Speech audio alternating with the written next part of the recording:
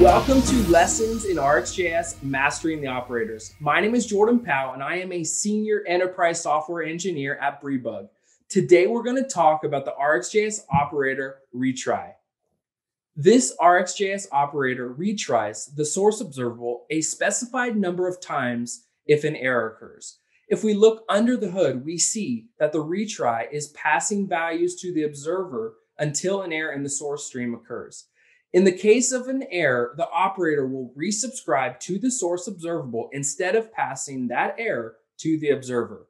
Once the specified number of retries has been reached, the error will be rethrown. Retry is most commonly used when we need a simple way to retry HTTP requests in our application.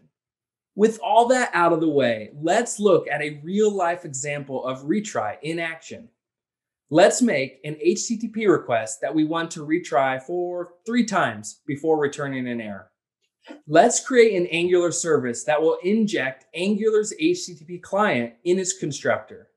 Next, we'll make a method called getAllCustomers that will make an HTTP GET request in our third-party library and return a list of customers as an observable.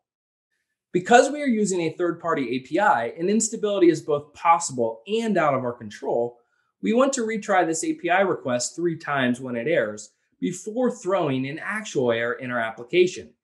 This is particularly helpful when an HTTP request is historically unstable or has a slow response.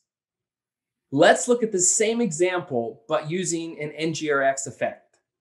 To do this, we need to create three unique actions get customers from third party API, get customers from third party API success, and get customers from third party API failed.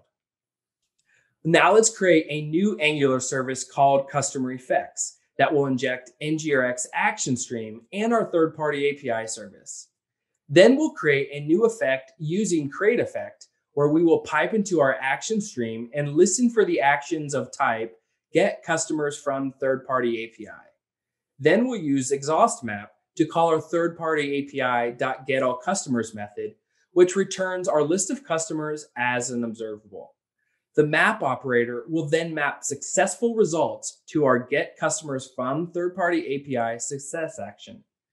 When the service fails, we'll use catch error to dispatch the get customers from third-party API failed action. Finally, we'll add retry. Though fundamentally, this example using NGRX effects accomplishes the same thing that the first example does, we are now putting that responsibility in the hands of an NGRX effects.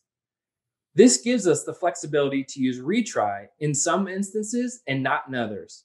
It allows us to easily change the number of retries at a per use case level. One thing to be careful of when using retry is to be certain to give it a count property as a number. This defines the number of times the stream will retry when an error occurs.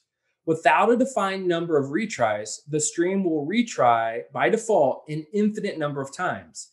It is also important to note that if you want to retry the stream only in certain cases, you will want to use the retry when operator. Check out the repeat operator when you want a similar behavior to the retry operator, but for non-error instances. Hopefully this video has given you an understanding of how the retry operator from RxJS can manage errors in your applications when using observable streams. Make sure you check out some of our other lessons in RxJS. I can't wait to see you in the next video.